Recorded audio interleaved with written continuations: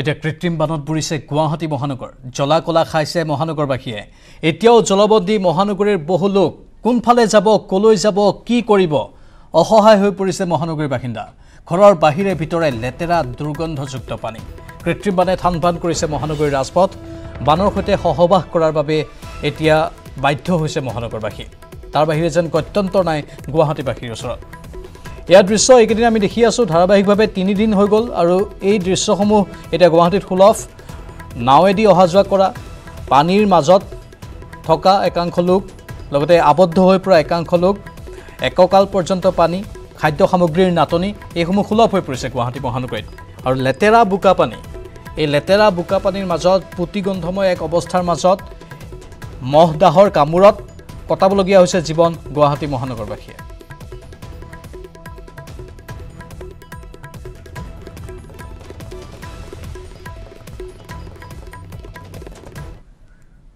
আনফালে মহানগৰীৰ কৃত্ৰিম বানক লৈ মুখ খুলিছে বিজেপিৰ জ্যেষ্ঠ বিধায়ক অতুল বৰাই। কৃত্ৰিম বান ৰোধৰ বাবে বিধায়কজনে চৰকাৰলৈ আগবঢ়ালে কেইবাটাও পৰামৰ্শ। কেৱল পৰামৰ্শই নহয় কৃত্ৰিম বানক লৈ চৰকাৰৰ প্ৰতি এৰিলে কেইবাটাও প্ৰশ্নও। বৃহস্পতিবাৰে সাতগাঁও পাথৰকুঁৱেৰী পথত সৃষ্টি হোৱা কৃত্ৰিম বান পৰিদৰ্শন কৰিবলৈ আহি এনেদৰেই বক্তব্য প্ৰদান কৰে বিধায়ক অতুল বৰাই। কি কি ক'লে তেওঁ শুনাই লৈছোঁ। দহতলা বাৰতলা বিল্ডিং বনাই আছে এপাৰ্টমেণ্ট বনাই আছে। খেতিৰ মাটিত এপাৰ্টমেণ্ট জলাশয় নতুনকৈ এতিয়া সেইবোৰ ভাঙি চিঙি চৰকাৰে তাত সেই জলাশয়ৰ সৃষ্টি কৰিব লাগিব। বিল্ডিং ভাঙি দিব লাগিব। হে? দহতলা আঠতলা নতলা এপাৰ্টমেণ্ট দহ বিঘা বিছ বিঘা মাটিত পৰি আছে। আপোনালোকে এইবিলাক নজৰ দিয়ক। চৰকাৰে সেইবিলাক জলাশয়লৈ বিল্ডিং চিল্ডিং ভাঙি জলাশয়লৈ ৰূপান্তৰিত কৰিব লাগিব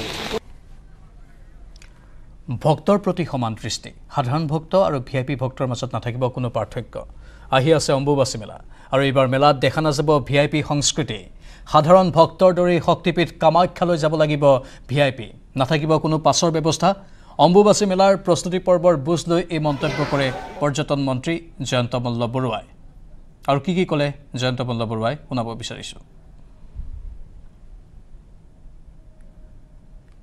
প্ৰস্তুতি সুন্দৰভাৱে চলি আছে। আজি মই প্ৰতিটো ছাইট ভিজিট কৰিছোঁ যে কি ধৰণৰ প্ৰস্তুতি আছে। আৰু এইবাৰ অম্বুবাচী মেলাত আমি মুখ্যতঃ ধৰ্মীয় পৰ্যটকসকলক বা ধাৰ্মিক লোকসকলৰ সা সুবিধাত যাতে ক'তো কমি নহয় এই কথাটো লক্ষ্য ৰাখিছোঁ। কিন্তু এইবাৰ মেলাৰ যিটো মেলা আড়ম্বৰতা এই আড়ম্বৰতাটো নাথাকে। এইবাৰ আমি মেলাৰ কোনো শুভাৰম্ভণি অনুষ্ঠান বা ইৰগোৰেল চেৰেমনি যেনেকৈ আমি আগতে কৰোঁ বা বিভিন্ন ধৰণৰ সাংস্কৃতিক অনুষ্ঠান বিভিন্ন ধৰণৰ প্ৰচাৰ ইত্যাদি এইবাৰ আমি বন্ধ ৰাখিম। কাৰণ ক'ভিডৰ পিছত দুটা বছৰ আমাৰ বন্ধ আছিল। এইবাৰ অকল ধৰ্মীয় পৰম্পৰাৰ লগত জড়িত যিসকল তীৰ্থযাত্ৰী আহিব তেওঁলোকৰ সা সুবিধাখিনি আমি মুখ্যতঃ লক্ষ্য ৰাখিম। প্ৰতিকূল বতৰতো অসম আৰক্ষীৰ অনুশীলন।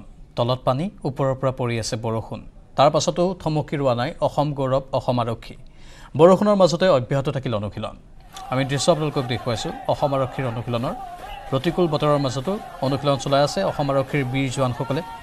তলত পানী ওপৰৰ পৰা পৰি আছে বৰষুণ কিন্তু থমকি ৰোৱা নাই অসম আৰক্ষীৰ জোৱানসকল। আৰু বৰষুণৰ মাজত এনেধৰণে তেওঁলোকে অনুশীলন অব্যাহত ৰাখিলে।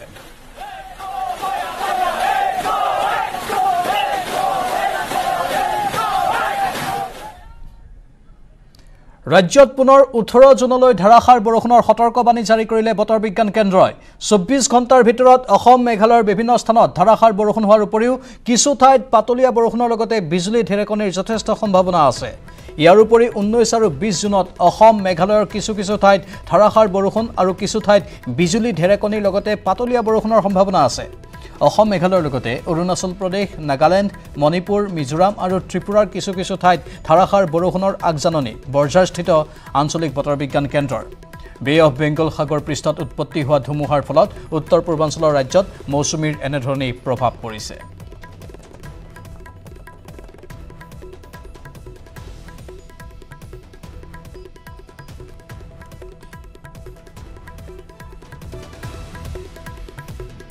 एक ईस्ट वेस्ट ट्रफ, जो कि मीन सी लेवल पर हरियाणा से होता हुआ, Uttar Pradesh, Bihar, sub Himalayan, West Bengal and Sikkim Assam से होता हुआ नागालैंड की तरफ़ गुजर रहा है। और साथ ही साथ हमारे नॉर्थ ईस्टर्न रीजन में लोअर लेवल पर ये जो सदरली और साउथ वेस्टर्नली विंड्स है, वो बह रही है। जो ये जो सारी विंड है, ये बे ऑफ़ बंगाल से आ रही है। और ये स्थिति जो है, उम्मीद की जा रही है कि 16 तारीख से 20 तारीख के बीच तक बनी रहेगी। और इसके कारण क्या हो रहा है कि हम लोग उम्मीद कर रहे हैं कि ड्यूरिंग दिस पीरियड यानी कि 16 से 20 जून के बीच में उम्मीद की जा रही है कि अधिकांश स्थानों में, हमारे नॉर्थ ईस्टर्न क्षेत्र के अधिकांश स्थानों पर थंडरस्टॉर्म लाइटनिंग भारी से अति भारी वर्षा और एक दो स्थानों पर अत्यंत भारी वर्षा भी होने की संभावना है। पुनर्स्वागतम পিছুৱাইছে স্বাস্থ্য বিভাগৰ লিখিত পৰীক্ষা। বান পৰিস্থিতিৰ বাবে লিখিত পৰীক্ষাৰ দিন সলনি কৰা হৈছে। পিছুৱাইছে চতুৰ্থ বৰ্গৰ লিখিত পৰীক্ষাৰ দিন। ঊনৈছ জুনৰ পৰিৱৰ্তে এতিয়া তিনি জুলাইত হ'ব স্বাস্থ্য বিভাগৰ লিখিত পৰীক্ষা। বান পৰিস্থিতিৰ বাবে পিছুৱাইছে স্বাস্থ্য বিভাগৰ লিখিত পৰীক্ষা। পুনৰবাৰ জনাইছোঁ স্বাস্থ্য বিভাগৰ লিখিত পৰীক্ষা অনুষ্ঠিত হোৱাৰ কথা আছিল ঊনৈছ জুনত। কিন্তু এতিয়া ৰাজ্যৰ যি শেহতীয়া বান পৰিস্থিতি যাৰ বাবে লিখিত পৰীক্ষাৰ দিন পিছুৱাই দিয়া হৈছে। চতুৰ্থ বৰ্গৰ লিখিত পৰীক্ষা এয়া স্বাস্থ্য বিভাগৰ। ঊনৈছ জুনৰ পৰিৱৰ্তে এতিয়া তিনি জুলাইত হ'ব লিখিত পৰীক্ষা। বান পৰিস্থিতিৰ বাবেই স্বাস্থ্য বিভাগৰ লিখিত পৰীক্ষাৰ দিন সলনি কৰা হৈছে।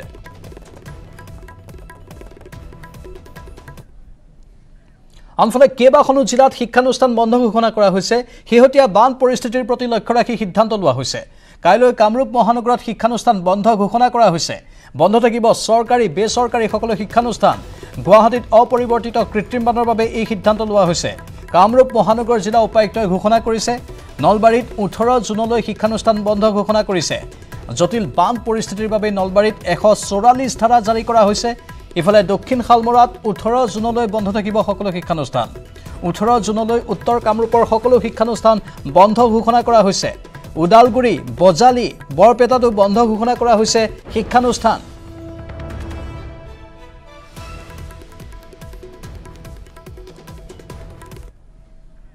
এইবাৰ বজালিত ছিগিল পহুমাৰাৰ মথাউৰি মেধিকুচিত মথাউৰি ছিগি প্লাবিত হ'ল বিস্তীৰ্ণ অঞ্চল। মথাউৰি ছিগি হুৰা হুৰে সোমাইছে নৈৰ পানী বাঢ়নি পানীয়ে প্লাবিত কৰিছে বিস্তীৰ্ণ অঞ্চল। বানৰ সংহাৰী ৰূপ দেখি আতংকিত হৈ পৰিছে অঞ্চলবাসী। খবৰ এইবাৰ বজালিৰ য'ত পহুমৰাৰ মথাউৰি ছিগি পৰিছে যাৰ ফলত হাহাকাৰ লাগিছে। মেধিকুচিত মথাউৰি ছিগি প্লাবিত হৈছে বিস্তীৰ্ণ অঞ্চল। মথাউৰি ছিগি হুৰা হুৰে পানী সোমাইছে। বাঢ়নি পানীয়ে প্লাবিত কৰিছে বিস্তীৰ্ণ অঞ্চল। আৰু বানৰ সংহাৰী ৰূপত আতংকিত হৈ পৰিছে অঞ্চলবাসী।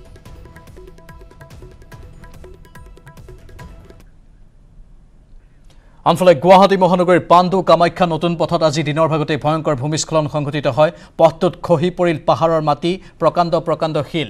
ভূমিস্খলনৰ পিছতেই বন্ধ পাণ্ডু কামাখ্যা নতুন পথ। আজিৰ পৰা দুদিন পূৰ্বেও যেতিয়া নেৰানেপেৰা বৰষুণ দি আছিল সেই সময়ছোৱাতো তাত ভূমিস্খলন হৈছিল। কিন্তু আজি যি ভূমিস্খলন হৈছে সেয়া প্ৰচণ্ড ৰূপত হৈছে। শিল খহি পৰিছে যাৰ ফলত সেই পথছোৱা সম্পূৰ্ণৰূপে বন্ধ ঘোষণা কৰা হৈছে। পথটোত কেইবাটাও স্থানত ফাট মেলা দৃশ্যও দেখিবলৈ পোৱা গৈছে। আজি দুদিন পূৰ্বেও অৱশ্যে সেই দৃশ্য দেখিবলৈ পোৱা গৈছিল। পুনৰ এই ফাটৰ পৰিমাণ বৃদ্ধি পোৱাৰ এক খবৰ আহিছে। পাণ্ডু কামাখ্যা নতুন পথৰ এয়া খবৰ যিটো পথত সাধাৰণতে বহু লোকৰ ভিৰ থাকে আৰু সেই পথছোৱাতেই ভূমিস্খলনৰ ফলত ক্ষতিগ্ৰস্ত হোৱাৰ খবৰ। পথটোত খহি পৰিল পাহাৰৰ মাটি আৰু প্ৰকাণ্ড প্ৰকাণ্ড শিল। ভূমিস্খলনৰ পিছতেই বন্ধ ঘোষণা কৰা হৈছে পাণ্ডু কামাখ্যা নতুন পথ।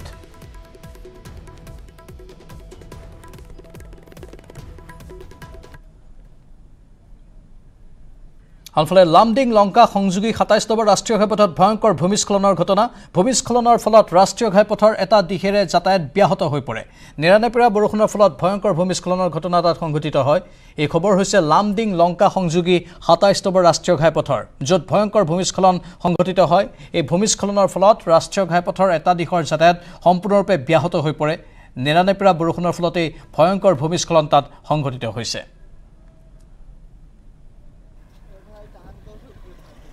সৌভাগ্যৰ বিষয় যে এই ভূমিস্খলনৰ ফলত কোনো লোক হতাহত হোৱা নাই।